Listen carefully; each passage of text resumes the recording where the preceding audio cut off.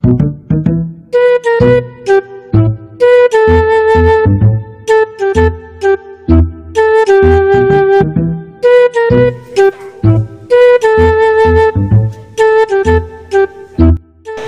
what's up mga ka-aircon? Ah, nandito tayo ngayon ah, sa GAB at sinamahan natin si Idol Damsa na kumuha ng license ah, sa URCC. Uh, Burn a Carbide na vlogger to vlogger. O, ah, yun nga mga kalibre. Ah, ang una dapat magiging kalaban ni Idol Damsa ay si Tigasin ng Cavite. Kaya lang si Tigasin Cavite natakot kay Idol Damsa kaya umatras sa laban.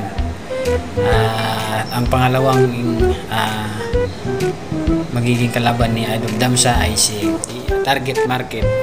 Ito naman si Target Market kung ano-ano ang pinagsasabi kay Tigasin ng Cavite.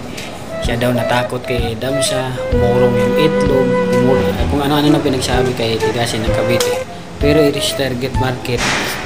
Alam nyo, umurong din ang itlog, natakot din kay Idol Damsa kung ano-ano nang pinagsasabi sa URCC na hindi daw siya makapunta sa Priscon, hindi daw siya makapunta sa ah, Pictorial. Pero ang punot dulo dyan ay takot si Target Market makipaglaban kay Idol Damsa ng Vernacle. Kaya ito ngayon, ah, iba na rin ang kalaban ni Idol Damsa. Ang magiging kalaban ngayon ni Idol Damsa ay si King Pinoy ng team ni ah, Mr. Mainit. Kaya ikaw target market, hinahamon kita. Ako ang labanan mo kung natakot ka kay Idol Damsa. Magtutuos tayo. Nakakahiya ka. Tinanggap mo ang laban tapos aatras ka. Ako ngayon, hinahamon kita kahit sa ang labanan. Mapirnakil naman, mababaksing naman, kahit ano, anong gusto mo, ano. Ha? Yung talent mo na ano ka, nakakahiya ka, ganun.